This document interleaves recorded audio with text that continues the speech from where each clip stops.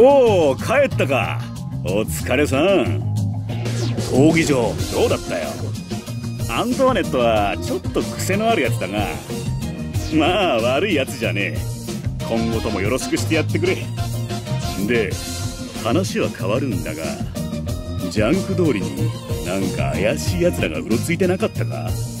余力があんならしずくちゃんと一緒に見回ってきてほしいんだけどな。なんだ？そんなに腹減ってんのか？さっきトウコさんに買い食いじゃなかった。買い出し頼みましたからついでに何か頼んでおきましょうか？はいはい受けたまです。電話しておくね。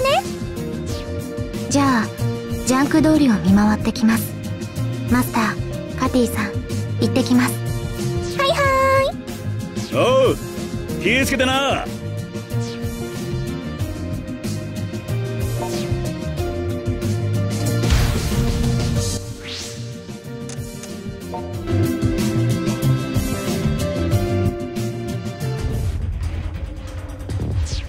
マスターが言ってた怪しい奴らってあの人たちかなんだこら。何ジロジロ見てんですかね。喧嘩売ってるなら。ひき肉にしちまうぞこれ。この感じ。まがいものね。ごめんなさい。倒すしかないわ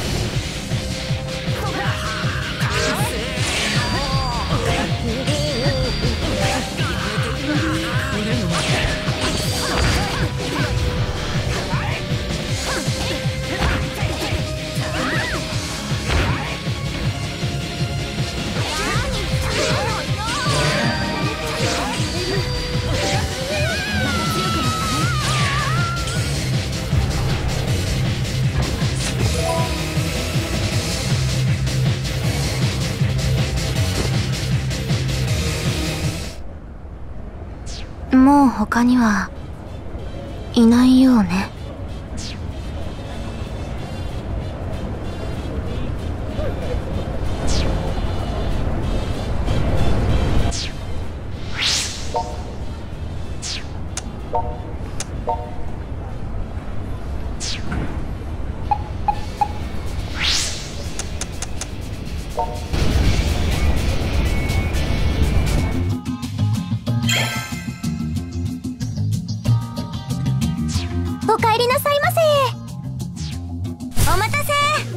ってきたわよ。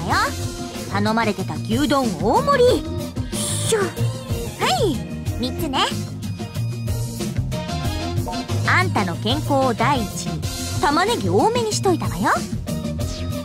ところでだね君たち。彼にもここ飲食店だぞ。なるべく持ち込みはたまには店で注文してくれねえかな。でもマスターこのお店ってコーヒーは美味しいけどお食事はあんまり美味しくないよね。うん従業員直々にさらっと営業妨害な発言はやめんかい。しかしあんたたくさん食べるようになったわね。いや食べるようになったってレベルじゃねえぞ。大食い選手権に出れるくらい毎日食いまくりじゃねえか。やっぱりこれってまがいものに改造された影響が出てるのか？多分普通まがいものにされてしまったものは人間を襲って勢力を奪うけど彼はそうじゃない。だから生きていくためには人並み外れた食事が必要になるんだと思う。ふんそんな理由があったのね。太陽が苦手だったりすごくお腹減ったりなんだか大変ですね。けどよなんかおかしくないか？他の奴らは人を襲うのになんでお前は襲わないんだ？一応まがいものなんだろ？それは？ああそうだ。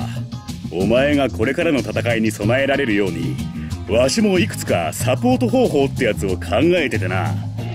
言うと例の説明をはい。ほらちょっとスマホを貸して。こうして。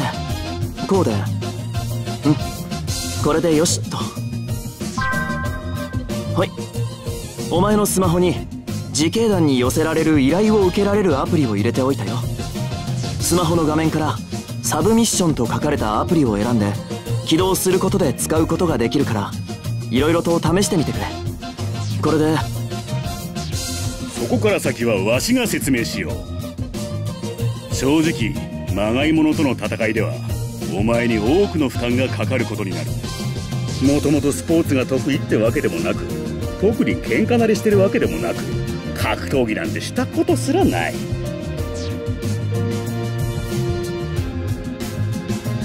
そんなお前がまがいものとの戦いで少しでも有利になるには多くの人に接すること。相手の機微をつかむというかとにかくそうやって他人になれるのが早道なんだよ。今後お前にはいろいろな依頼を与えるからどんな依頼をどれだけ受けようかはお前に任せる。うまくこなしていってくれ。ってことでパトロールついでに試してみてくれよ。じゃあ俺たちは駅前一帯を見回るぜ。あんたたちは裏通りに行ってみてよあんた。そんなキャラじゃないでしょ。とにかく何か見つけたら連絡するわね。ごめんなさい。あなたたちまで巻き込んでしまって。気にするなよ。秋葉はみんなの町だからな。わしらの手で守れるところは守る。それが自警団の役目だよ。おおさすがマスター。男だぜ。そこにしびれぬ憧れぬまた会いましたね。ニーニと一緒にいた人。先輩の妹さんです。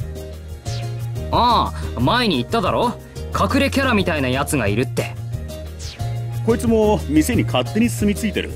つうかこの店で引きこもりやってんだよ。カウンターの裏に勝手に小部屋を作ってな。あの時風雫です。自警団にお世話になることになりましたよろしくお願いします。存じてます。カウンターの裏で話は聞いてたから。まあ適度によろしく。